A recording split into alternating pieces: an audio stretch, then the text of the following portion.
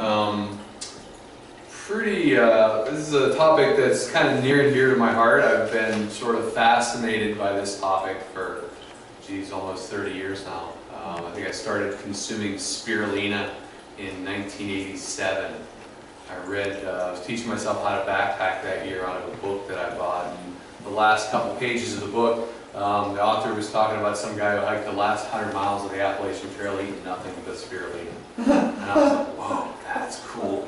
I was like, what is that stuff? I gotta find out what that is. And uh, so I researched it and found out where I could get some, and I've been pretty much eating spirulina ever since. So, um, and spirulina was sort of my segue into the whole idea of uh, superfoods. There's a little handout right there you can grab. Um, and it's just sort of expanded from there.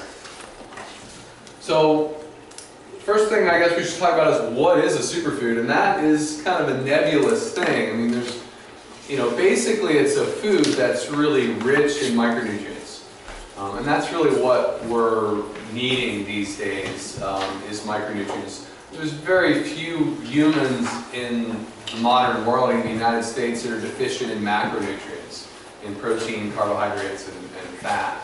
Um, most of us are getting plenty of those. Um, but what we're severely lacking in is micronutrients. So superfoods are foods that are incredibly rich in micronutrients. By micronutrients I mean minerals, vitamins, phytonutrients, enzymes, um, so antioxidants. These are nutrients that our body requires in small quantities.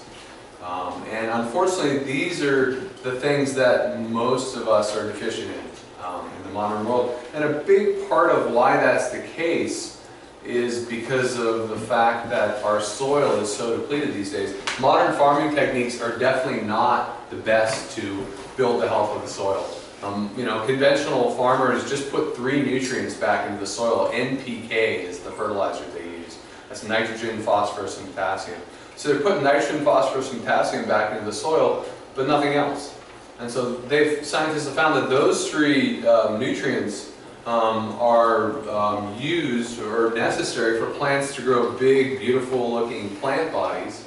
Um, so that's all they put in the soil. And the rest of the nutrients are seriously, seriously deficient. Doesn't seem to affect the, the actual look of the plant, but it certainly affects the health of the plant. Um, interestingly enough, these chemical fertilizers are really a remnant of World War II. Back when the war ended, uh, we um, were creating fertilizers uh, using these, these uh, elements and we didn't know what to do with all the residue we had left since we weren't building so many bombs anymore. But somebody figured out that these nutrients, sodium, I'm sorry, nitrogen, uh, phosphorus, potassium, really make plants grow big. And so we started putting this into our soil to, to grow food. Um, and as a result of this practice, um, our soils become seriously deficient in micronutrients. You know, all the other nutrients like zinc and calcium and magnesium that we desperately need, we're not really getting enough of those from our food anymore. And it's really a bit of a double whammy because when you only feed your soil uh, phosphorus, nitrogen, and um, potassium, um, your plants aren't healthy. They may look healthy, but they're not healthy. And so nature knows when something's not healthy and it sends in you know, insects or fungus or something to start eating up that thing and degrade it so that it can go back into the soil and build healthy soil. So plants that are healthy just get eaten alive by insects. And this necessitates the use of all these pesticides and herbicides and insecticides and that we're spraying on our crops that are basically poisons. Another interesting fact, the pesticides also came out of World War II. They were part of this um, biological warfare that was being developed in World War II. And after the war, we didn't have anything to do with this stuff, and we figured out that we could spray it on our plants and it would prevent the bugs from eating our plants up. So now we're spraying all these poisons onto our plants to keep them alive because they're so unhealthy because the soil is allowed to become so depleted. Um, and guess what? Those pesticides and herbicides destroy all the soil-based microbes that are in the soil. Um, and the soil-based microbes are really what secrete fulvic acid. Um, fulvic acid is like the magical nutrient. Fulvic and humic acids, these organic acids that are in soil secreted by um, microbes, are the magic ingredients in the soil that will take the inorganic rock minerals and really transform them into an organically bound state that the plants can bring up into their plant bodies. So because we're killing all the soil-based microbes with our pesticides and whatnot, if, even if there were any zinc and calcium and magnesium and manganese and molybdenum, etc., in the soil, the plants wouldn't be able to bring it up into their plant bodies anyways because there's no soil-based organisms. They've all been nuked by the pesticides, and now there's no fulvic acid to transform the rock minerals into organically bound state that the plants could actually work with. Even organic farms, or just? Well, organic farms are not spraying, right? So at least we know that there's soil-based microbes in organic fields. Um, but organic farming doesn't mandate the use of compost. Compost is food, organic matter that is decaying, and compost is food for the soil-based microbes. So organic farming does not mandate the use of compost to feed the soil-based microbes, it just encourages it. So if you've got an organic farmer, like a lot of these big organic farms in California that have bought up, been basically bought out by you know conventional farmers. They bought out these organic farms because they wanted to get in on the action because they figured out they could make a lot of money.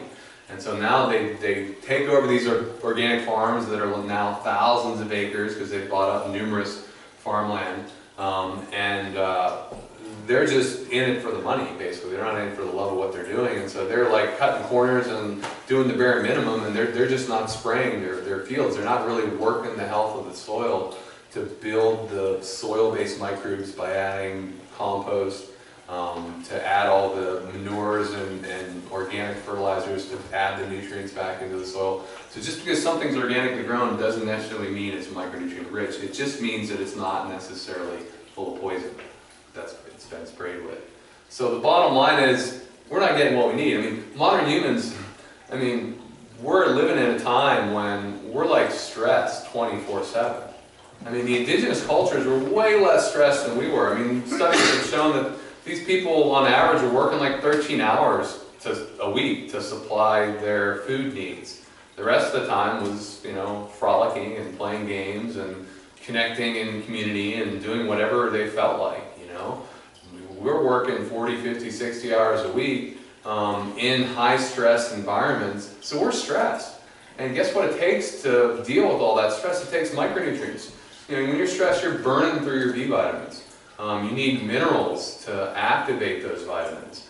Um, so at a time, and also we're in this toxic world, we're exposed to massive amounts of toxins. It takes minerals and vitamins for our body to process those toxins, for our liver to detoxify um, these toxins and get them out of our body. So really, modern humans need more micronutrients than humans have ever needed before in the history of the human species. And we're getting way less.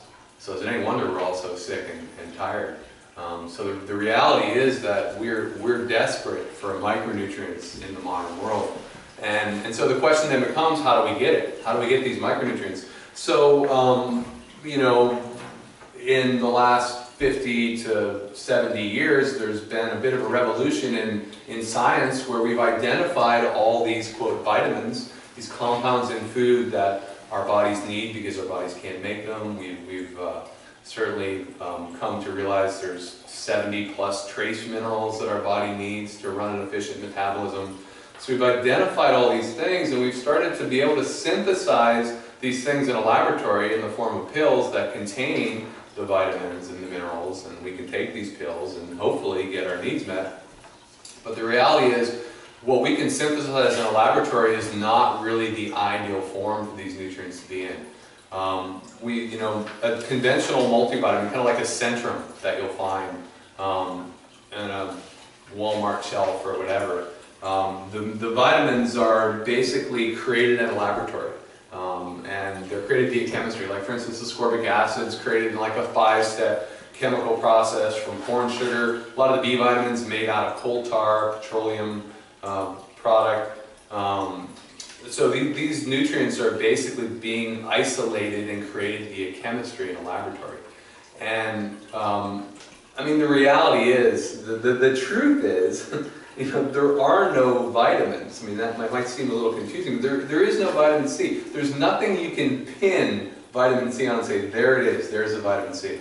The reality is, vitamins are actually a complex biological process that involves many different things. So you have vitamin activity, you have vitamin C activity in the body, but there really is no one thing that's vitamin C. But in our reductionist mindset, where we try to hone in on what vitamin C is, we've kind of honed in on this ascorbic acid, and we call that vitamin C. I mean, I see calling ascorbic acid vitamin C like sort of calling the skin of the orange the orange. Um, there's much more to vitamin C than just ascorbic acid. There's dozens of cofactors that we've identified that are really required to be present with that ascorbic acid for the ascorbic acid to function like vitamin C in the body. So when you consume an isolated vitamin like thiamine or niacin or riboflavin or ascorbic acid or which people call vitamin C, um, what happens is your body kind of doesn't know what to do with it. It's like, well, geez, what do I do with this? This kind of looks like vitamin C, but it's missing a few things. I know, well, I think I'm going to take some, some rutin from here, some bioflavonoids from here, and some factor J here, factor K here. I'm going to bring this up and add it to this ascorbic acid I just consumed to make vitamin C activity. Um, so really what happens when you take large potencies, high potencies of these isolated synthetic substances is it really taxes, it mobilizes all the cofactors that you happen to have floating around your tissue for these nutrients so that they can actually be functional as the vitamin activity. Um, so you can really begin to deplete your body um, in these in these cofactors. It can literally start to rob these cofactors from your tissues and you become deficient. I mean, you could potentially even create a vitamin C deficiency in your body if you take massive amounts of ascorbic acid over a period of time. You eventually use up all the rutin, which is required for vitamin C activity, and then you can take all the ascorbic acid in the world and you're not going to get any vitamin C activity because there's no rutin left. You, you've used it all up by these high dosages of, of, vitamin C. And then you know, when you take these synthetic vitamins, you get this neon yellow urine coming out typically. Not so much for the fat soluble, for the, for the water soluble, which is really an indication that your liver and kidneys are being burdened to basically get rid of this stuff. And not all of it can be converted into functional vitamin activity. Only a percentage, oftentimes a small percentage of, the, of these high potency synthetic isolates that you take can actually be converted into um, functional uh, vitamin activity. The rest is a burden on your eliminative organs to get rid of.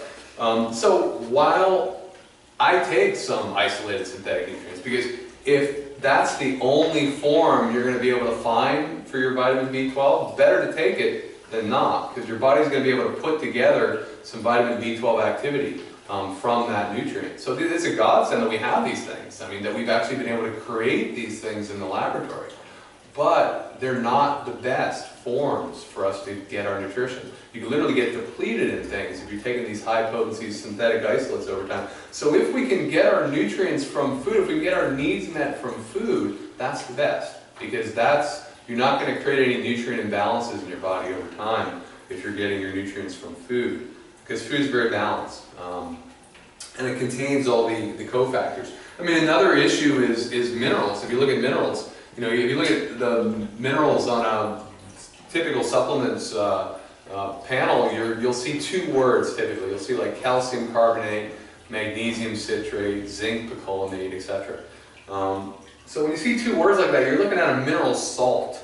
And a mineral salt is basically an inorganic compound um, that is not very bioavailable in your body. It's, it's uh, you know, it's, it's basically a ground up rock effectively what it is. Um, sometimes some of these ground up mineral salts are actually used in, in terms of industrial uh, processes and, and sometimes you have the ground up rocks that have been processed with an acid like for instance calcium carbonate which is limestone processed with citric acid equals calcium citrate which is a little more absorbable into our bloodstream than calcium carbonate apparently but you know, I'm a little hesitant. I, honestly, if I had calcium carbonate in this hand and calcium citrate in this hand, I might choose to take the calcium carbonate because, you know, calcium carbonate, a lot of that's going to pass through my digestive system, not the other end, without doing a lot of damage. The calcium citrate might actually get into my bloodstream. And in my mind, that could be a potential problem because calcium requires a lot of different things to be functional all the fat-soluble vitamins, vitamin K2, vitamin A, vitamin D3, um, magnesium, uh, phosphorus, um, numerous um, things are required to be present with calcium. And if those things aren't there, that calcium, if it gets into your bloodstream, could potentially cause some problems. It could cause calcification of your tissues because your body doesn't know what to do with it. Doesn't have the cofactors required to process it properly. Your body's calcium metabolism is all out of whack. So instead of that calcium depositing in your bones and, and your teeth where it should, um, it potentially could deposit in your soft tissue. Um, you know, like in your kidneys and you get kidney stones, um, or in your um, arteries and you get arterial plaque building up. A lot of um, the arterial plaque has been discovered to be containing calcium. Um, you know, so it could contaminate your joints, deposit in your joints and start to cause calcification of your uh, cartilage and whatnot and lead to arthritis. So I don't really want these inorganic minerals coming into my body in a, in a big way necessarily, um, unless I'm seriously deficient. Yeah, I mean, then if that's the only way you can get it, better that than nothing. But you do your homework and try to figure out what all the cofactors are and make sure you've got lots of different nutrients. Your body knows how to process these minerals properly. Um, but still, you know, it's not the best. If we can get our minerals from food, that's way better because the, if you put that calcium carbonate on the soil, the soil-based microbes secrete fulvic acid. Fulvic acid actually breaks down rocks. It starts to decompose rocks into much smaller particles. Eventually, taking that calcium carbonate and breaking apart the calcium and carbonate bond to get monoatomic calcium that then gets absorbed into the fulvic acid compound, and the fulvic acid compound gets brought up into the plant body. And when calcium is in that fulvic acid compound, it's what's known as organically bound. And it's in the food with all the other synergistic nutrients um, that are required for proper calcium metabolism. Um, and it's highly bioavailable when it's in that organically bound state. So it's way better if we can if we can do this. So some of the some of the um, multivitamin companies and supplement companies have sort of figured this out. They figured out that yes, inorganic mineral salts, synthetic isolated vitamins, awesome, we've got them, awesome, we can use them if we need, but we can make them better. We can actually take these things and feed them to a yeast culture or a culture that contains yeast and other probiotic organisms. And that culture will then eat the inorganic mineral salts and isolated synthetic vitamins. And so then when you eat these, what I would call food-grown supplements, and we have a company that we work with here in the clinic uh, called Innate who does this.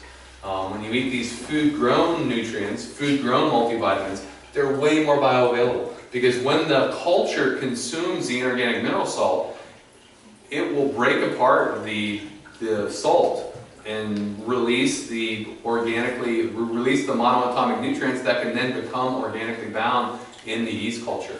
And then you eat that yeast culture, you get an organically bound nutrient that's highly bioavailable with the cofactors, because yeast is incredibly nutrient rich.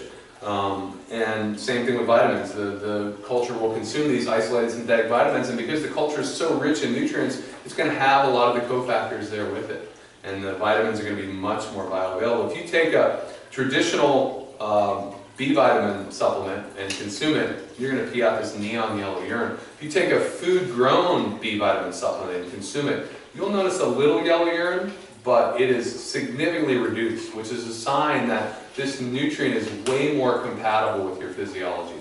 Um, so food-grown nutrients are a huge upgrade, but once again, in my opinion, they're not as good as actual food. Um, so I'm personally way into food. Food is, uh, you know, food, there's so much more to um, nutrition than simply isolated nutrients like vitamin C and magnesium and calcium.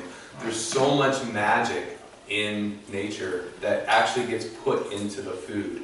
And when we eat food, one of the things we get is light. Um, it turns out our DNA has the ability to emit and absorb light. And this is a critical nutrient for our bodies. It actually, um, when we absorb a lot of light into the DNA in our cells, um, our cells are able to communicate with other cells much more effectively. It kind of amplifies their, the cell's energy body. And the cell becomes very alive and vital and is able to communicate effectively um, with other cells. I mean, there's a whole energy body that um, is sort of the template for the physical body. And as you absorb more and more light into your DNA, your energy body gets energized and your physical body becomes a lot more vital and, and healthy. And we get, when we eat food that has DNA, we literally are able to absorb some light from the food. And that feeds our cells and our body becomes more alive. Um, we don't really get light from ascorbic acid or thiamine or niacin or calcium carbonate. Um, and in fact, those nutrients require our cells to potentially give up some light to sort of re-energize those nutrients with energy with so that they can be incorporated into living tissue. So we actually potentially lose some, some of our light energy um, when we consume those nutrients. So food contributes so much more than just these isolated micronutrients that we discovered. It contributes things we potentially have not even discovered yet. And superfoods are what I've been really focused on for 20 plus years now. Um, so let- let's talk about some of these superfoods that um, I've written down a couple. This sheet is what you want to look at. A couple pages worth of superfoods here that you might want to consider uh, incorporating some of these into your diet. One thing I I will say, caution you guys about, one thing, I'm kind of jaded in this topic a bit because I've been in this superfood world for so long. I've been to all these, you know, conferences where very charismatic speakers are up there talking about the latest and greatest superfood. And then after the lecture's done, everyone flocks to the booth where that superfood's being sold and buy it, and people are fighting over each other, and it's just like, oh my god, you know, it, it, it's like, um, you know, superfoods are great, and you can definitely benefit by consuming lots of superfoods, but the important thing is your diet.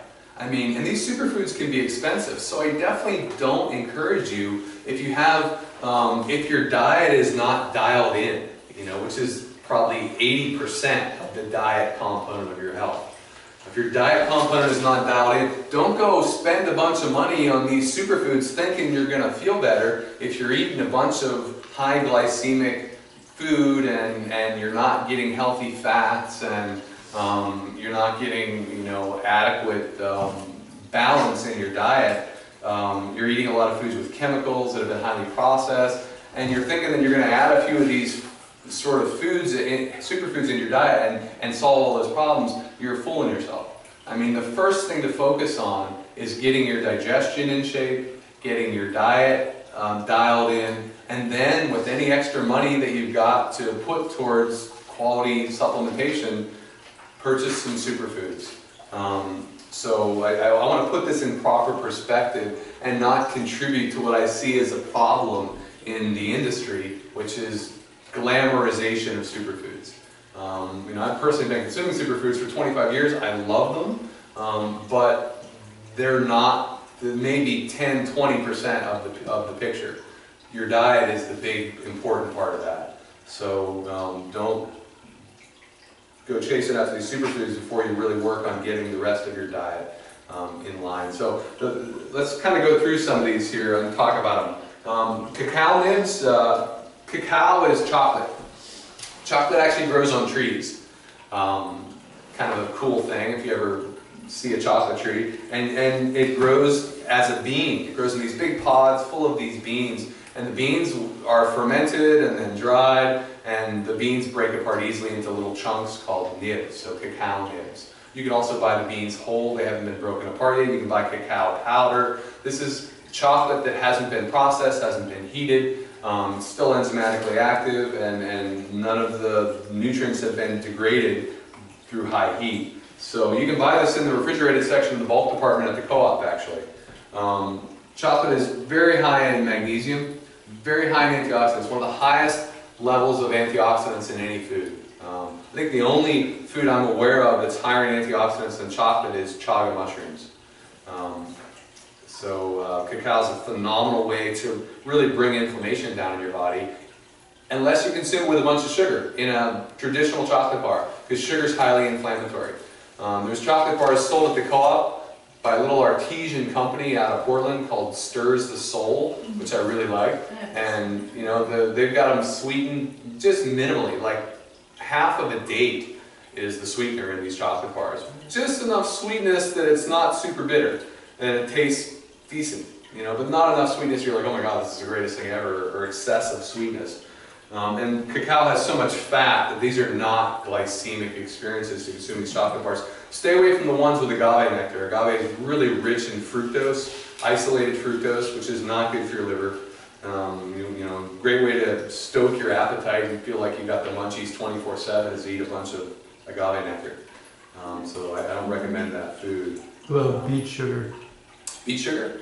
Um, good question. I haven't really uh, looked at the profile of that sugar as to what the, the components are. You know, I mean, there's sucrose, which is like 50% glucose, 50% fructose, and then there's just isolated fructose, like high fructose corn syrup, and agave is more fructose than most high fructose corn syrups.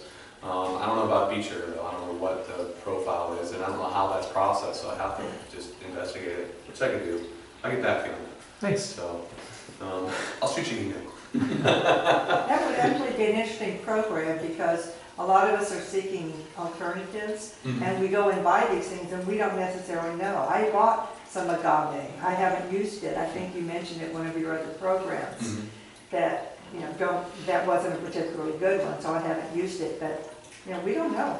And there are a lot of choices out there. Totally, totally, um, and, and absolutely, and then that's, you know, what I do is I just, I'm interested in being healthy myself, so I investigate everything for myself and I try to share with as many people as possible what I've learned from my own journey. Um, so cacao nibs, you can throw them in a smoothie. I'm going to talk about smoothies, how to how to take these superfoods. A lot of these superfoods don't taste so great. So how do you eat them? How do you get them in you without just like gagging? So smoothies, my solution. There are other ways. You can make homemade chocolate, throw some of these things in there, which I do as well. But smoothie is the easiest solution. So I'm going to talk about. I've got a smoothie recipe that I'll talk about um, with you guys uh, and, and to help you start to understand how to get some of these into your diet. Tocotrienol is just one of the richest sources of vitamin E.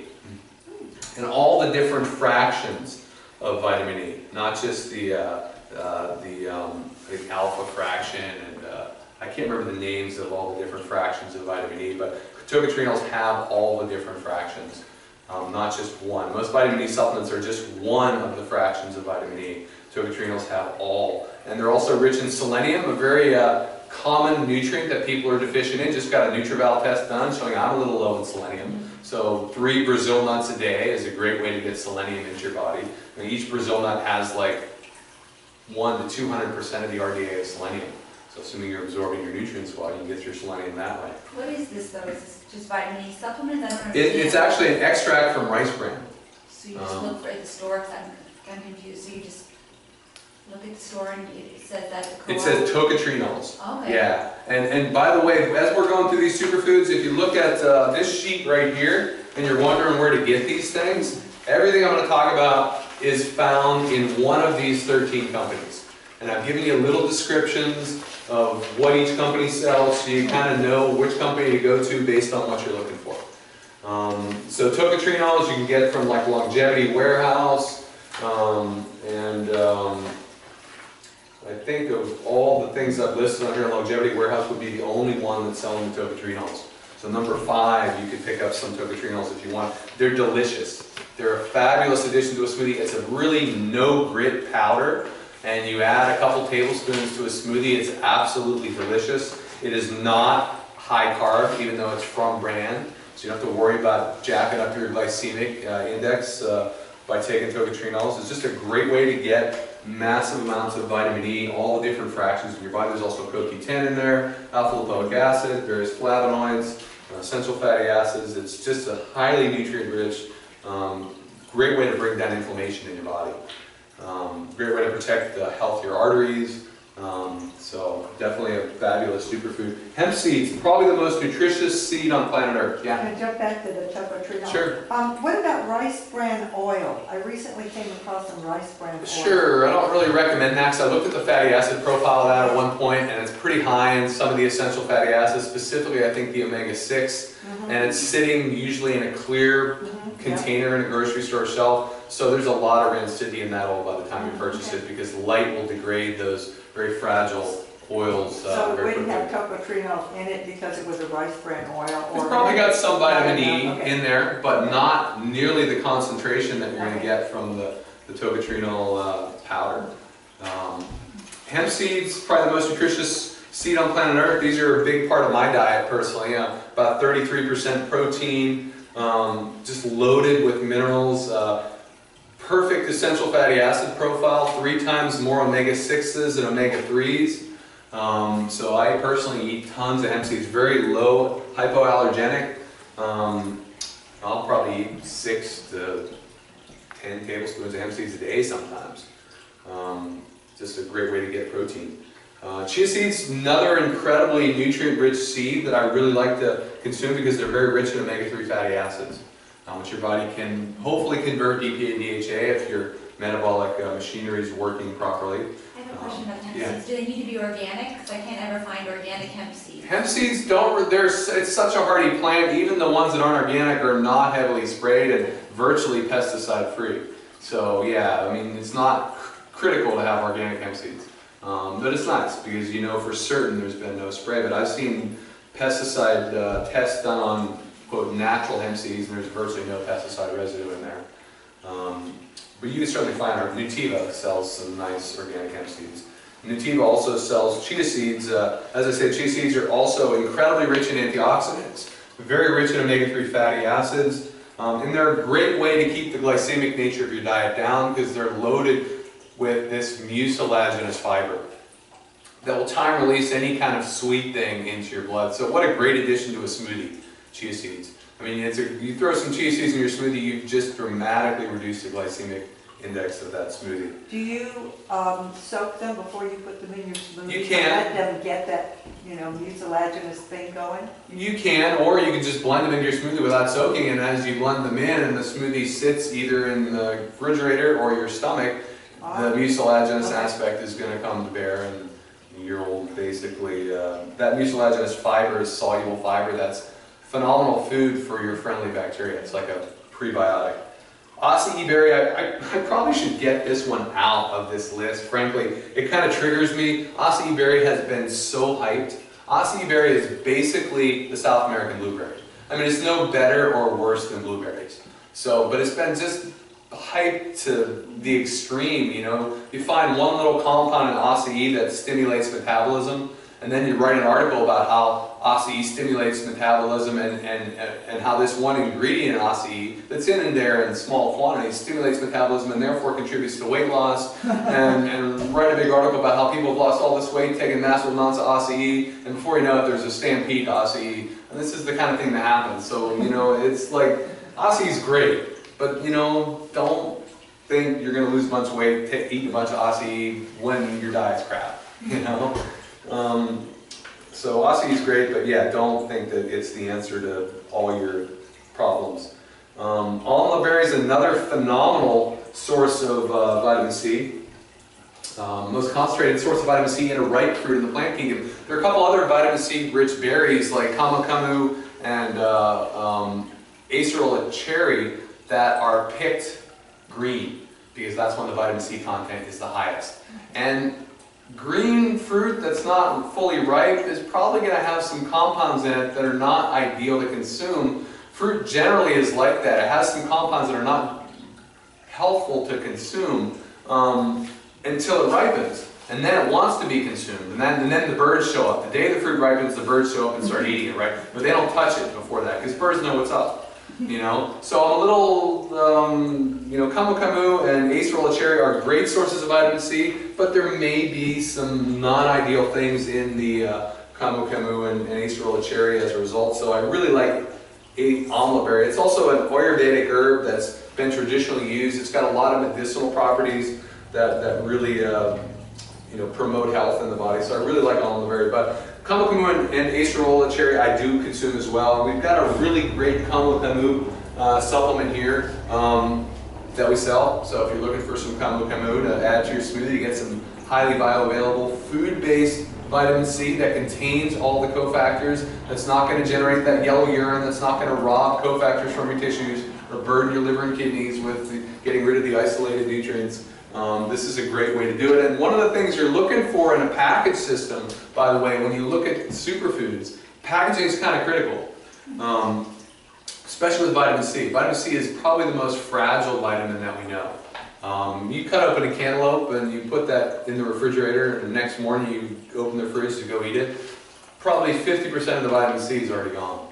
Um, so vitamin C is is easily degraded by light, heat, or oxygen. Um, and all plastic allows oxygen to get through slowly. If you got a really hard plastic, like this material is extremely hard plastic, so oxygen may be getting through here, but it's happening at such a slow rate, there's going to be very little degradation happening with this camu camu. Um, ideally, you're looking for a glass container. You're looking for a glass container that's been either nitrogen flushed or it has an oxygen absorber in the bottle, so when you open the bottle, it pops as oxygen rushes in, and then there's no degradation possible, especially if it's amber glass, because that prevents light from getting in. Light will, will degrade the, the nutrients as well. So, you know, uh, it, it kind of cracks me up sometimes when I see, um, um, you know, uh, these superfood blends marketed as high ORAC, ORAC being a measure of the antioxidant potential. Antioxidants are easily degraded when they're in the presence of oxygen or light, um, uh, specifically oxygen. And uh, so, you know, they're in this soft, I mean, I'm thinking of one company specifically markets their green product as a high ORAC greens and super soft plastic, which is very readily permeable to oxygen. So yeah, it might have had a high ORAC value at one point, but by the time you buy it, when it's been sitting on the shelf in the grocery store for months and maybe in the production shelf for months before that, the antioxidants are toast. You know, so so packaging is important with, with these superfoods. If you can get them in glass, amber glass, that's really the best way to go. Um, Incan berry is another great vitamin C rich berry that's actually 16% protein. That's as much protein as in, in uh, um, chia. Uh, I'm sorry, um, um, quinoa, which is known to be a high protein grain. So very rich in protein. I love the sour flavor in the Incan berries. They sell these over at uh, the co-op. I get them in bulk, put them in my smoothies.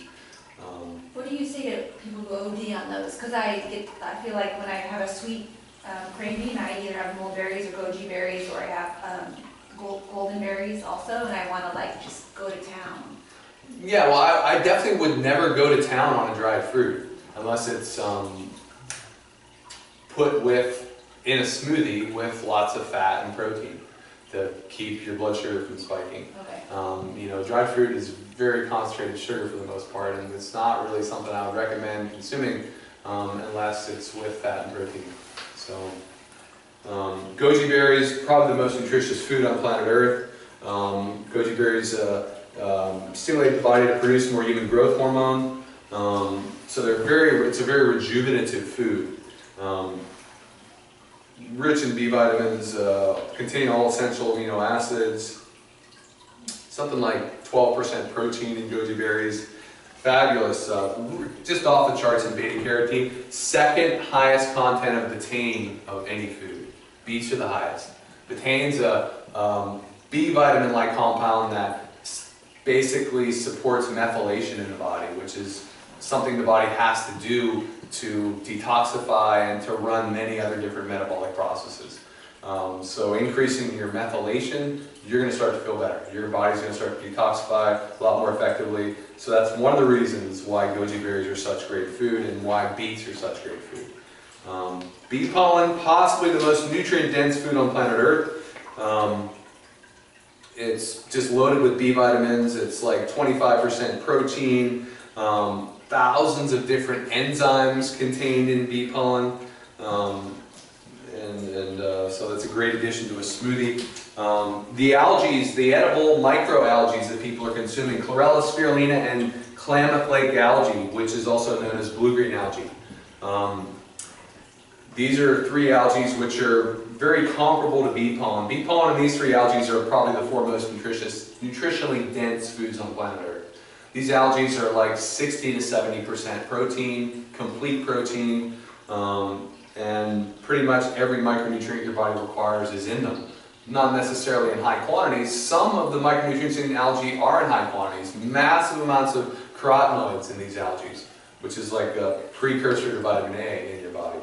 Um, some of the carotenoids anyways. Um, massive amounts of iron in these algae. Um, you know, chlorella is probably a little better at supporting detoxification and rejuvenation in your body than the other algae. Um, chlorella's got a unique phytonutrient called chlorella growth factor that uh, is very um, uh, effective at stimulating rejuvenation in your cells, even your nerve cells. Um, chlorella's also got a fibrous cell wall that bonds onto heavy metals and pesticides and chemicals and prevents them from being reabsorbed in your intestinal tract, carried out of your body via bowel movement. Um, spirulina is really good for immune health. It stimulates stem cell production in the bone marrow. So your stem cells in the bone marrow are what produce your red and white blood cells. So spirulina is a fabulous way to stimulate production of uh, red blood cells and white blood cells, which are the cells of your immune system. The red blood cells are the cells that carry oxygen in your blood to all your different cells. And blue-green algae is another um, um, form of, it's another variety of, of blue-green algae. Spirulina is a blue-green algae.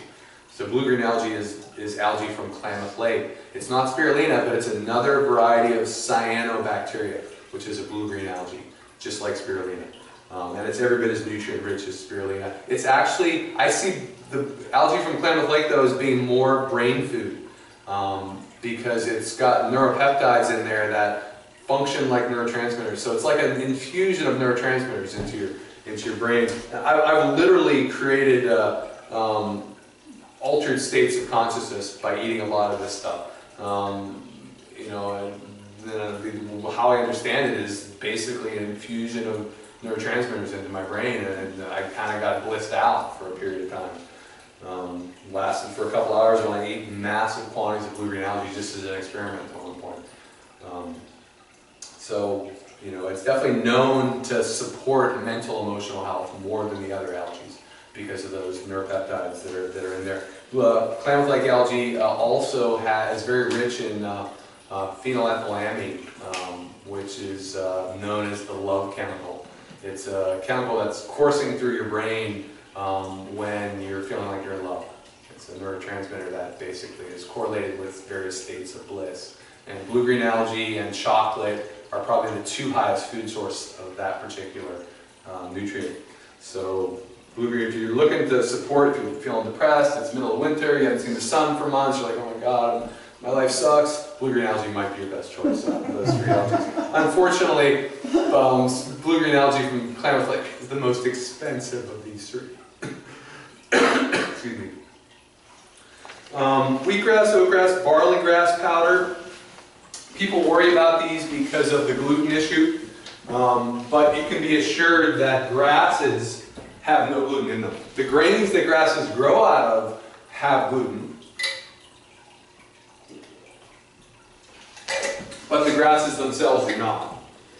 However, sometimes when someone's harvesting wheatgrass, because maybe they're growing it in a tray, um, as they harvest it, they pull some of the grains out of the soil, and those grains get in with the grass as it's processed and dried and ground into a powder, and you end up with gluten contamination in your wheatgrass.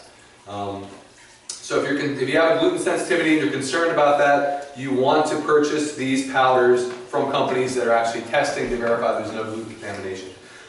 The reason these powders are so great is they're so rich in alkalizing minerals. These are the, some of the most alkalizing foods on the planet.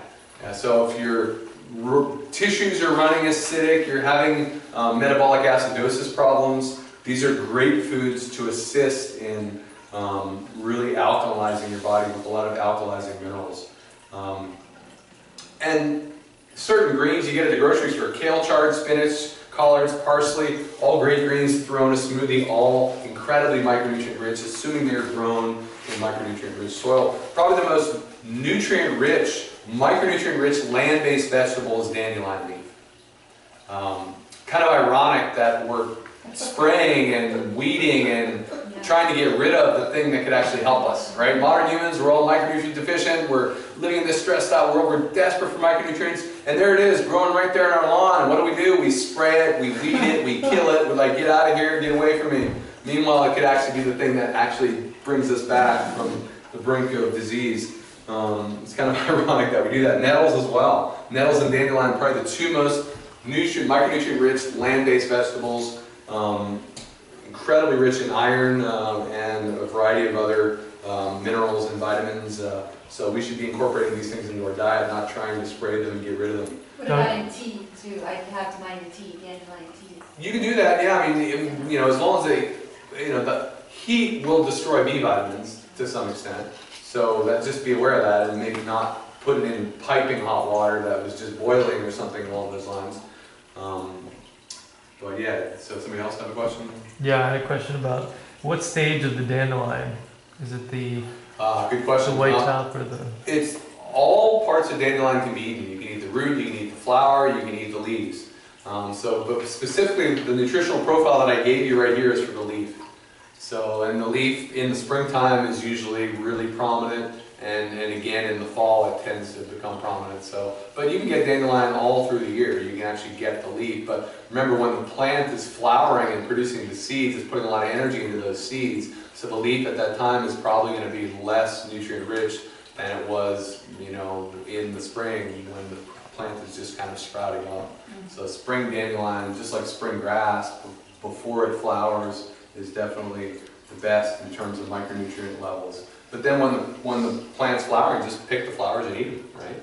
I mean, because those are super, I almost see it as like eating the sun. I mean, I just love to just chomp on dandelion plants. I mean, they're just so yellow and full of sunlight energy, obviously. And, um, so, um, alfalfa is another great thing. Unfortunately, it's been um, genetically modified, so you gotta be careful and only buy organically grown alfalfa. Um, it sends its roots way down into the soil, um, and so it brings up lots of nutrients um, from, from deep in, in the earth, and, and you can get those nutrients by eating alfalfa. Moringa leaf is the most nutrient-rich tropical vegetable. That actually is um, a, the leaf of a tropical tree. And uh, in countries where uh, people are starving, you know, starvation is rampant, um, they're starting to grow these trees so they can feed the leaves to people to bring them back from the brink of malnutrition. Um, there's massive amounts of micronutrients. I mean, four times the vitamin A of carrots, eight times the vitamin C of oranges, four times more calcium, two times more protein than cow's milk, three times more potassium than bananas by weight. This is an incredibly nutrient-rich leaf on a tree. Um, sea vegetables, kelp, dulse, and nori are a big part of my diet.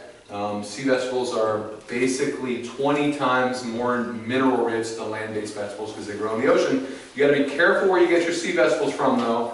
I really like the company that I've listed uh, on my resources page here, number 12, uh, as a source. They do a lot of testing to verify that their um, veggies are uh, um, free or at least low levels of contaminants. Um, so really the, the most trustworthy sea vegetable company that I've How do you use them? Um, well, I love to get dulse and sea lettuce flakes and sprinkle those all over my salads. Um, I like to get nori sheets and wrap up various things in the nori sheets to eat. Um, I love to get kelp powder and use that as a salt substitute. For kelp is incredibly rich in iodine, which we don't have as much of a problem with iodine around here near the coast because our soil's got a little more iodine. But man, people in the Midwest are far from the ocean. Their soil is very deficient in iodine, and kelp is a godsend for people like that. Um, so, and dulse, man, dulse leaves, I like to just eat them. I mean, I love the flavor of them. They're just yummy, and I like to just add them into soups or whatever. You just put them in the soup, and they kind of um, soften and, and add a really nice flavor. So, there's lots of things you can do with these sea vegetables. You can add them into a pate. Um, you could, um, you know, on and on and on. And the list is endless. It's limited only by your creativity. Um, one of my favorite uh, superfoods. It's a fascinating substance. It's the number one urban Ayurvedic medicine, first of all. Um, it's been used by Ayurvedic physicians for thousands of years. Just the name Shilajit is a Sanskrit word. Anything that is, any Sanskrit words that are still around, um, you kind of want to pay attention to that. Sanskrit is an ancient language which indicates that this substance has been around for thousands of years. If you go to the Himalayan mountains in the, uh, in the um, summertime, um, the rocks, vertical cliff faces, you can see a tar-like substance oozing out of the cliff faces. Um, and that's Shilajit. And uh, it's basically, um, nobody really knows what it is, honestly. Um, but people have found that it's incredibly beneficial for consumption. And um, people theorize it's the remnants of the tropical vegetation that was on the coast of Asia as India slammed into it in the tectonic plate collision, causing the land to rise and all the tropical vegetation to die, and then that composted into rich humic and fulvic material that was further compressed by the collision of the continents and tr- biotransformed into what Shilajit is to this day. And Shilajit is the incredibly rich in minerals. It's every bit as mineral rich as anything on this list. Um, over 70 trace minerals have been found in Shilajit.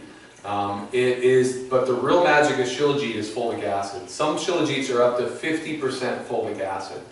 I really like the Shilajit from Omica Organics. I don't know if I put that in, the, in my list here. Um, don't think I did. Omica Organics, O-M-I-C-A, organics.com. Love their Shilajit because it's 50% fulvic acid. And uh, fulvic acid is a magic nutrient mainly because just like in the soil, it breaks things down. Um, it um, basically, heavy metals, um, pesticides, anything that's in your body that really shouldn't be. Fulvic acid will begin to break it down so that it can be mobilized by the body and excreted. So it's an incredibly potent detoxifier. Um, and as a result of that, I love to consume Shilajit. I'll put a teaspoon of it in my smoothie pretty much every day. There is one catch with Shilajit though. Fulvic acid and humic acids um, interact with chlorine and, and to create some very potent carcinogens. Kind of ironic because that means that fulvic acid is very rich in organically grown food. The better the health of the soil, the more fulvic acid is going to be in the plant because soil-based microbes secrete fulvic acid. So organically grown foods are rich in fulvic acid. But then if you get exposed to chlorine, you're going to create these carcinogens in your body as that chlorine bonds with the organic acids in fulvic and humic acid in your, in your blood to create some carcinogens. So it's like the more organic food you eat, the more carcinogens you create if you're exposed to chlorine. So the bottom line is stay away from chlorine. Um, don't drink tap water. And the most prevalent way people get chlorine in their blood is not the water they drink, but their shower. So if you're going to consume Shilajit with all this fulvic acid, you got to stay away from chlorine. And that means you got to put a really good shower filter on your shower as well as on your sink so you don't get exposed to chlorine. Um, and um, which I've done. I got, I got a whole house filter on my house basically to eliminate all chlorine. And then, then you don't get uh, chlorine outgassing from the toilet or in the shower or when you do the dishes. Uh, um, and just to eliminate that compound from my life because it's such a heinous compound. Um, cayenne, I love to put cayenne in my smoothies because cayenne is a, is a massive uh, substance that stimulates blood flow. And you got a, a, smoothie that's just loaded with some very potent micronutrients. You throw some cayenne in there, that's going to help drive those micronutrients into your cells. Open up your circulation so those micronutrients can get to where they need to go. Um, so a little bit of heat in your smoothie is, is a really good idea. Um, If you're having IBS symptoms or problems digesting, is cayenne pepper still recommended? um, I guess it depends on how your body reacts to that. I mean, uh, potentially it could irritate, if you've got inflammation in your GI tract, it could potentially irritate that. So you have to kind of tune into what's happening when you eat it. But yeah, that, that could be a potential problem. You might want to heal that situation first before you start adding a lot of cayenne. You could go with ginger, maybe something that's a little more benign, um, that's going to get a little heat uh, and open up some circulation in your body. Um, cod liver oil, phenomenal superfood that's very rich in fat-soluble vitamins. Vitamin A, vitamin D, and, and a little bit of vitamin K in there, and also EPA and DHA. Um, you know, Weston Price, the guy, dentist who went around the world in the 1920s, studying indigenous cultures found that the indigenous cultures ate about 10 times more fat-soluble vitamins than we do in the modern world. Which is why we're all having teeth problems and osteoporosis and all the other issues that come with um, lack of fat-soluble vitamins. Fat-soluble vitamins are critical for proper calcium metabolism and bone and teeth health. Um, and so cod liver oil is a phenomenal way to solve that problem. The issue with cod liver oil is it's not the best tasting stuff in the world, especially if it's fermented. Fortunately, you don't need a whole lot of it, just a teaspoon.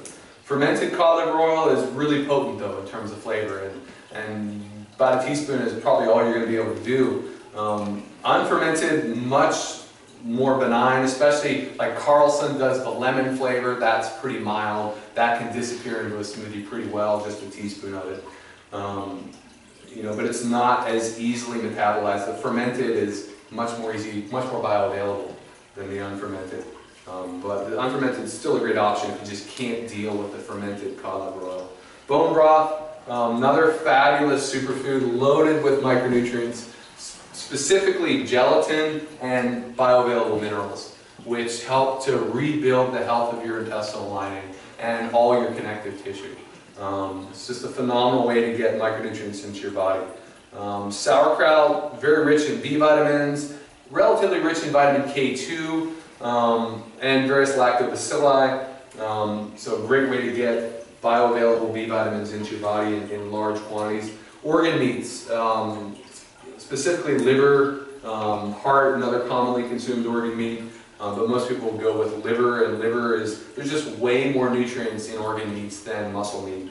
Um, so specifically vitamin B12 and iron um, and folic acid, things that people are typically um, in.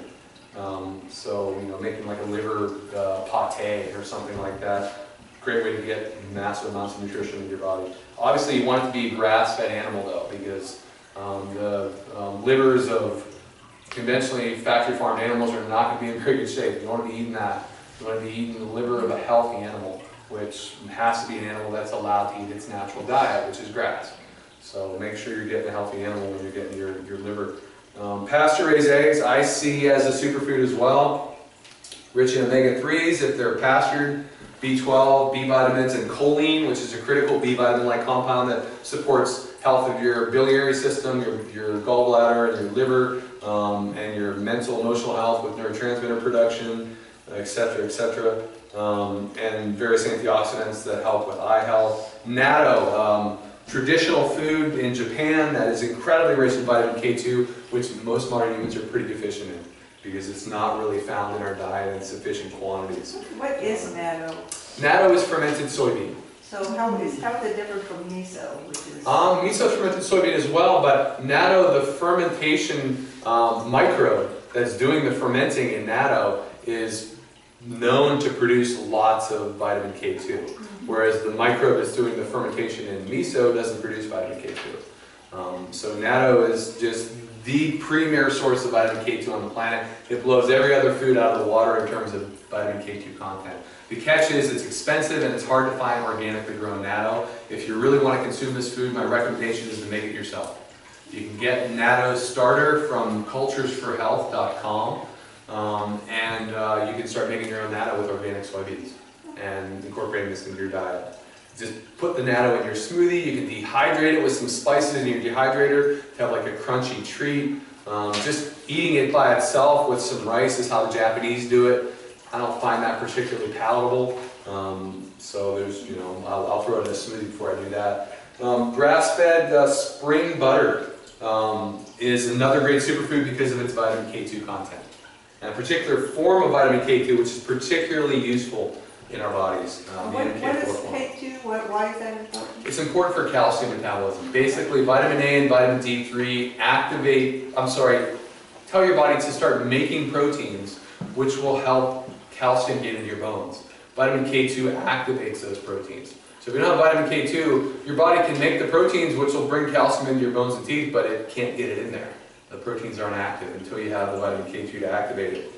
So vitamin K2 is critical for the health of your bones and teeth. And, uh, you know, most people are seriously deficient in that. So there's 29 superfoods for you guys to start playing with. Um, and now let's talk about the superfood smoothie recipe.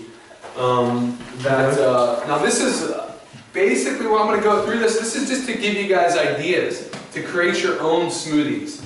To, to give you an idea of the sort of thought process you can go through when you're creating a smoothie to create an optimum smoothie for your body. Um, the first thing you want your smoothie to be is low glycemic. That means it doesn't spike your blood sugar. If your smoothie tastes like the best thing ever, if you jump out of bed and you're like, oh my god, I can't wait to drink my smoothie, you probably got too much sugar in your smoothie. so your smoothie should taste, you know, pretty good. It's palatable. It's it's it's satisfying. But it's not like something that, oh my god, this is amazing kind of thing. You certainly do your best to make it as amazing as possible, but you don't want to put a lot of sugar in there. Um, and so, you know, I'm sort of pushing the edge here with two different fruits in this smoothie, one ripe banana and one handful of berries. You know, if you can get away with it, skip the banana and just go with the berries. Um, and then two tablespoons of chia seeds for that mucilaginous fiber that keeps the glycemic index of your smoothie down and the omega-3s. And she is very rich in antioxidants. Um, coconut oil for the medium chain triglycerides. Coconut oil has these short chain fatty acids that are very um, antiviral and antibacterial and just really support your immune system. Um, so coconut is a fabulous way to, to really give your immune system some support and to also decrease the glycemic index your, of your smoothie. Um, some cod liver oil in there for fat-soluble vitamins, vitamin A, vitamin D um, are going to be abundant in the cod liver oil. A little bit of grass-fed butter for vitamin K2. Now you've got all the critical fat-soluble vitamins in this smoothie that are going to support bone and teeth health and calcium metabolism in your body. That dairy, grass-fed? It is, it is, yes. Um, you know, if you've got a dairy sensitivity, um, if it's a really strong sensitivity, you're just going to have to stay away from dairy, but you may be able to get away with ghee. Because ghee is clarified butter. What you're reacting to with dairy is the proteins. You, if you're lactose intolerant, you just got to stay away from dairy. I tried ghee and I reacted to that too. Okay, over so yeah, It was good so but. There, there you go. So you got a strong dairy sensitivity, you just got to stay away from it. So you, you're not, you're gonna have to get your vitamin K2 some other way, and you can get that by eating healthy, uh, you know, animal foods. Um, you know, all meat has some vitamin K2 in it. You can get some sauerkraut in your diet. There's some more K2. You can even take a vitamin K2 supplement if you need to. Um, uh, the next one is a product called Vitamineral Green, which I really like because it's a collection of 25 green superfoods and probiotics. So I've been consuming this particular superfood product, which is sold at Super Supplements and the, and the co-op for probably uh, 15 years now. Um, um, just a great way to get massive amounts of bioavailable green foods into your body um, easily. Um, the next one is my favorite vitamin C supplement. I give you the website where it's sold. I think this is the best vitamin C supplement on the market. Um, love to put some of that in my smoothie because you really can't get too much vitamin C in your body um, these days. Um, the next line is either hemp seeds or hemp protein powder to get some protein. You need some protein in your smoothie. And for those of you that are dairy sensitive, I stuck to the hemp protein because whey will stimulate a, a sensitivity reaction. Um, and, uh, and then bee pollen. Um, love bee pollen because the B vitamins. Bee pollen is also rich in lecithin, which really helps you digest fat. Um, and um, so I love the bee pollen, the most nutrient-rich food on the planet, basically. A little cinnamon in there to also support blood sugar stability, and maybe some other pumpkin spice spices to improve flavor. Um, and then in terms of blending water, or coconut water, to the, add that liquid and then blend it up. And you add as much liquid as you need to to get the consistency that you like. Maybe you like a thick smoothie, maybe you like a really watery, thin smoothie. Depends on how much liquid you add. Just an FYI about coconut water. Stick with water if you can. Coconut water, honestly, too much sugar. I mean, you know, 8 ounces of coconut water, you're looking at 10 to 12 grams of sugar, depending on the brand. That's too much sugar. Um, coconut water is great right after a workout. But that's really the only time I'd recommend coconut water. And when you do coconut water, do it with some protein right after workout. That's a great recovery drink. Um, it's going to stimulate a little bit of insulin release that'll help drive the protein in your protein powder your muscles to stimulate muscle growth and and um, and so. But other than that, I wouldn't really recommend consumption of coconut water unless you get a potassium deficiency. Um, in moderation, you want to water down the coconut water so you doesn't get too much sugar that way. Some of the other things you could throw in a smoothie if you choose, um, fresh greens, great. If you don't want to spend money on a product like Vitamineral Green, which is a little bit expensive, get some fresh greens from the, from the grocery store. Throw them in your smoothie. Um, throw a pasture-raised egg in your smoothie. Great way to get protein and B vitamins and choline and omega-3s into your smoothie. Um, for flavor, cacao powder um, or vanilla extract or even vanilla powder. Um, ground vanilla bean uh, you could use instead of vanilla extract um, to get some some, nice flavor. One of the things that I found is cacao powder and spirulina go really well together. You can, if you got some cacao in your smoothie, you can add massive quantities of spirulina and you don't taste it.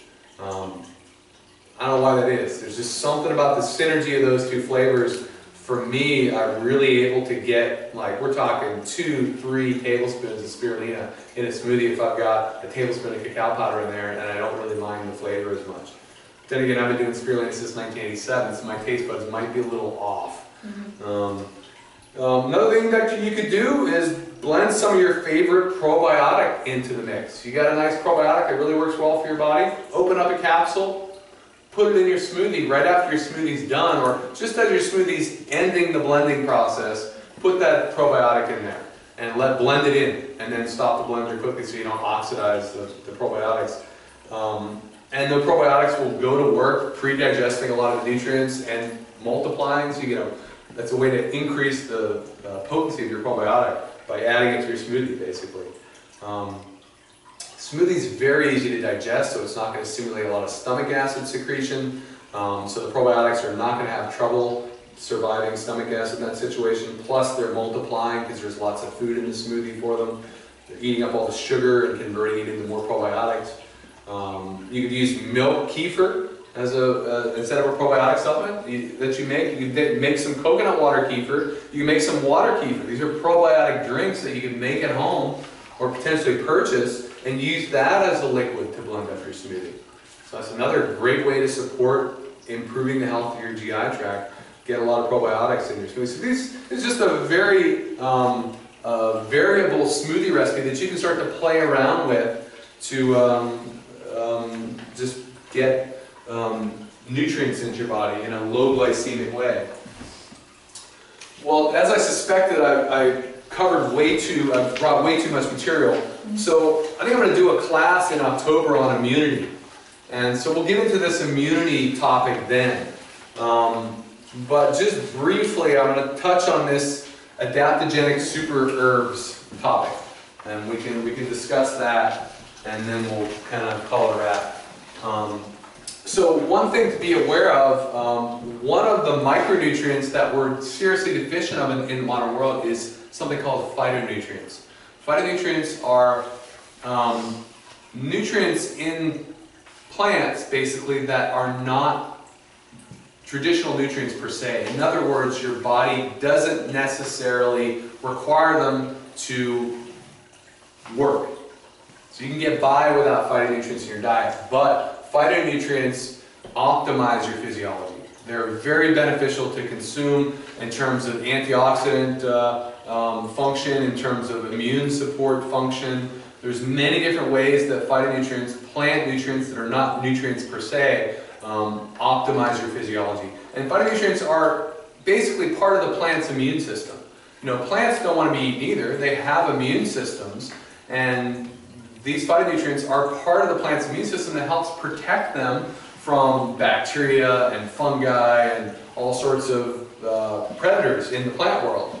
And when we consume these phytonutrients, they help us, our bodies, protect themselves from these potential problems like you know microbes and fungus and really help support our immune system as well as help reduce inflammation by, by acting as antioxidants. Um, so phytonutrients are really critical and we're not getting phytonutrients in the modern diet. All the indigenous cultures would make these brine, these broths. They would go wildcraft herbs and roots and barks in the forest, throw them into a big pot and just boil that for days in the, in the central teepee or whatever of the community. And then they would just drink that liquid as a tonic. Um, this, most of the indigenous cultures we know about did something like this to get all these phytonutrients coming into their bodies. We don't do that anymore. And, and these phytonutrients, these compounds are typically associated with the bitter and the astringent flavors in the foods. Um, and so what we don't eat those kind of foods anymore. We don't eat dandelion. This is a food with a lot of phytonutrients in it. It's very bitter, and and uh, you know, um, you go out into the forest and wildcraft greens or vegetables out there. They're all going to be bitter. They're all going to have nuances of astringent, bitter flavors. Not really taste all that great. Um, But we don't eat foods like that anymore. In fact, modern foods, look at lettuce. Lettuce doesn't have any phytonutrients in it. Lettuce is, you look at what lettuce came from originally, it was a gnarly plant. Thorns, super bitter, but over the thousands of years of hybridization, all the bitter and astringent flavors were hybridized out of, the, out of lettuce. And now we have this super bland, super palatable food that we eat. And this, this is the foods that we eat. We eat these super bland, super palatable, highly hybridized foods that don't have any, any phytonutrients in them anymore. We don't eat crab apples. We eat highly hybridized Fuji apples full of sugar um, with no phytonutrients, virtually no phytonutrients in them compared to the old versions. Um, and our soil's so depleted that even if we were getting the, you know, old style uh, plants and eating those, there's so little nutrients in the soil that the plants can't even really produce a lot of phytonutrients. Um, so we are seriously phytonutrient deficient at a time when we need immune support and help reducing inflammation more than ever. Um, so this is a serious deficiency in the modern world that I think it's important to rectify. And, and so eat your bitters, eat your dandelion, learn how to wildcraft greens, you know, eat the bitterest things you can find. One of the foods that I really love um, that is just loaded with phytonutrients is schizandra berries. Schizandra berries, I get mine from um, Mountain Rose Herbs, and I just store them in the refrigerator. And every morning I just take a teaspoon of those schizandra berries and just chew them up and eat them. They're known as the five taste fruit. Man, are they potent. They are so flavorful. They have like, you know, they have bitter, they have astringent, they have sour, they have a little bit of sweet, they have salty. All five flavors are present in, in berries. And man, it just makes you pucker when you chew up those schizandra berries and eat them. But schizandra is just an incredible um, um, herb to, to have in your diet. So there are many different types of herbs with different types of phytonutrients that are medicinal in your body, that have various medicinal functions. I'm just going to focus on one class of herbs that I think are really important for modern humans, and then we're going to we're going to close it up here. And so I'm going to talk about adaptogens. Um, I'm really big on adaptogens, mainly because what are adaptogens? Um, they basically improve your body's ability to deal with stress, and they help you. They really support your adrenal glands, which are really the way that your body deals with stress. Um, and I don't know about you guys, but living in the modern world, I got a, what I would consider a fairly low stress lifestyle compared to a lot of people I know. Um, so it's like, and I feel like I'm way too stressed out. And so it's like, man, I got compassion for what I see in other people, you know, the lifestyle that they're leading. And we are stressed in the modern world. And, and it's so important to support ourselves with these phytonutrient rich um, herbs that are adaptogenic uh, to stay healthy living in the modern world. So I've listed six different adaptogens here that I really like, and I personally take um, ashwagandha, Foti, and Siberian ginseng right now. I kind of like to rotate my adaptogens a little bit, so I, I, don't always take those four. Sometimes I'll stop taking Foti for a while and take some holy basil. Um, it's good to rotate your adaptogens because your body kind of adapts to the adaptogens. When you first take an adaptogen, the effects are very potent and it really supports your body's stress response. But after months of taking that same adaptogen, your body's kind of adapted to it and the effect of that adaptogen is not nearly as strong. So then you switch to another adaptogen. And, and you just keep rotating your adaptogens that way. And, and you continue to support your body. So, you know, I basically order some of these adaptogens from the companies in the, your resources, and I have them in my cupboard um, in glass to preserve them. Um, and in the morning I'll take like half a teaspoon and I use extracts, right? You, these are all from the roots of these, except for schizandra berries are the actual berries. And holy basil is, is a leaf. But the rest of these are from the roots of the plant. And you could take the roots of the plant, dry them and grind them up into a powder, but they're not going to be very potent um, pharmacologically because there's going to be a lot of fiber there. So I like to actually take an extract of these adaptogens. So the, the um, phytonutrients have been extracted out with water, um, oftentimes hot water, um, and therefore concentrated. So I like to purchase, like from Jing Herbs, I'll get the Siberian ginseng extract, which is like a potency of, I think, 30 to 1 over the, just the dried Siberian ginseng root. So I take a half teaspoon of each of the adaptogens in the morning, just put them in 8 ounces of water, you know, swirl it around and down the hatch, basically, as a way to just support my body dealing with the stress of the modern world. I think it's critical um, to have adaptogens coming into your body, and then it's good to do these on an empty stomach, away from your other food. Um, you know, you could throw them in a smoothie, but I think you're going to get more benefits if you just take them on an empty stomach away from your food. So I typically, this is the first thing I do when I wake up in the morning. I put a bunch of adaptogens, whatever I happen to have in my cupboard, in a glass, pour some water in, swirl it up, drink it, and then I take my teaspoon of schizandra berry and eat it, and then I'm on with my day. Um, hopefully dealing with the stress of my life a little better than I would have had I not done this. So um, this is uh, a way you can support yourself living in the modern world. Um, the topic I really didn't get to is medicinal mushrooms, so I'll get to that when I do a talk on immunity in October. Um, there you have it. You guys have any questions?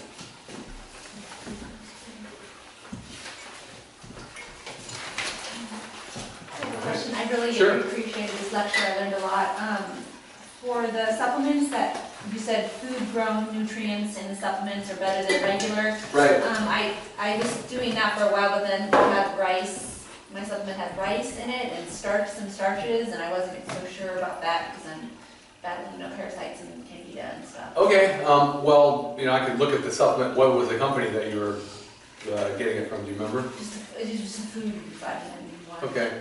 You know, probably was not an issue. There's probably so little rice in there that it's just, you get more, you're worried about the starch. I mean, you get more potential feeding of candida if you just eat some berries than than you get in that supplement. So I definitely wouldn't worry about that. Okay, Um, yeah, it's, it's not really an issue. It's just in there probably as a flow agent for the tabulating process in very minute quantities. And definitely nothing to worry about. okay, and then I just switched to a so- soil-based probiotic because Chris Kresser, Kresser recommended that on his website. Love that probiotic. I'm taking it myself. I think it's a great probiotic. Yeah, and it's, yeah, I- Prescript-Assist. Yeah, for sure persist, Yeah. I, I heard that, it's, yeah, I think it's going fine, it's interesting, I had never heard about, um, soil probiotics before, so it's interesting to switch from that, because I've been on, a year, I've been on just the normal ones. Yeah, soil-based microbes, some, you know, there's a lot of controversy and debate, and, and I, uh, I don't think there's been any conclusive research, but soil-based microbes, many people theorize, are the dominant microbe in our GI tract. Um, and the lactobacillus are more of a minor player, like the acidophilus and bifidus compared to the soil-based microbes. So yes, I think that soil-based microbes are critically important. You look at the cultures that play in dirt a lot, you know, instead of kids in front of computers, they're out playing in the dirt, they don't have any food allergies. Um, so these soil-based microbes get incorporated into our intestinal ecology as we eat foods that have some dirt on it, and, and then we are maintain our health much better. So yeah, I'm, I'm just intuitively, to me, soil-based microbes feel like a really important piece of the puzzle to really repairing the gut, um, at least for me. So, and we'll, we'll see how that goes. But so far, so good with me with that probiotic. I've- been, um, been having some good, good results.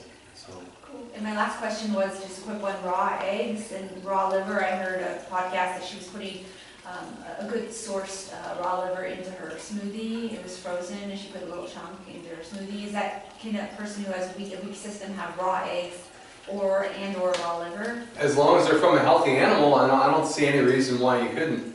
Um, you know, unless you're sensitive to eggs, right? I mean, if you have a sensitivity reaction, eggs is a pretty common food The sensitivity. yolk, it's okay to eat, I never knew that, raw, Yeah, okay, Yeah, definitely. If it's a healthy animal, I mean, you can have contamination on eggs, but if it's a healthy animal, that contamination is very unlikely. The contamination, like salmonella, will happen when you have very unhealthy chickens living in their own excrement and, um, you know, producing very unhealthy eggs that get contaminated in the shell. And so, um, you know, if you're getting eggs from healthy animals, I don't think it will be a problem. Um, so, yeah.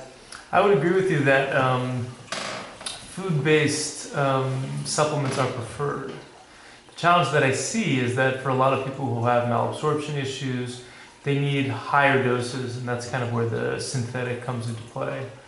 Um, has that been your experience? You- Well, I, I have definitely not had as much experience as you've had in that issue, so I definitely defer to you on that. And, and I think there's probably some truth to that. I mean, you know, it's like you, you can get massive levels of potency in a isolate because the compound is isolated, whereas in a food grown or food based or superfood type thing, in, in addition to the micronutrient vitamin or whatever, you've got fiber, you've got protein, you've got carbs, and some of that fiber could potentially bind with the nutrients, and it's you know, getting carried out of the body instead of available for absorption. So, so yeah, I mean, you can get way higher potency, and if somebody's seriously deficient in something, it may be worthwhile to start with a synthetic high potency nutrient uh, to re- replenish. I think that's probably a good protocol. I, I just think that once the deficiency is corrected, Mhm.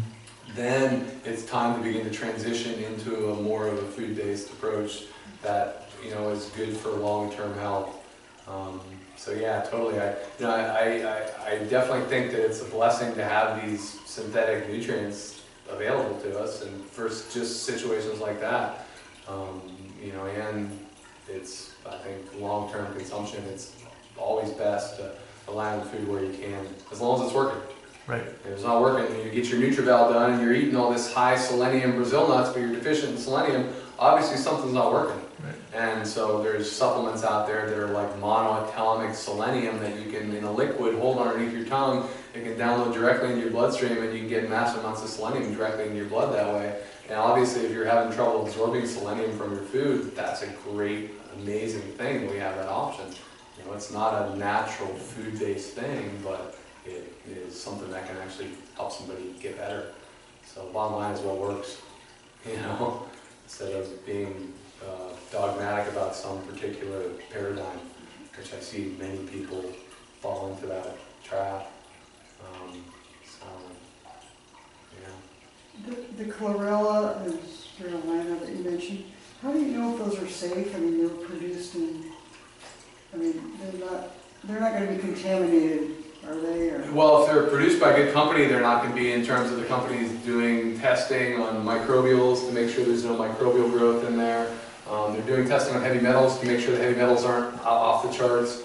Um, they're, they're basically uh, monitoring the growth to make sure that there are no other um, unfriendly organisms growing in the spirulina vats. Okay, Um, so they're doing continuous testing, basically, to verify that uh, the, the, you're getting a pure ingredient.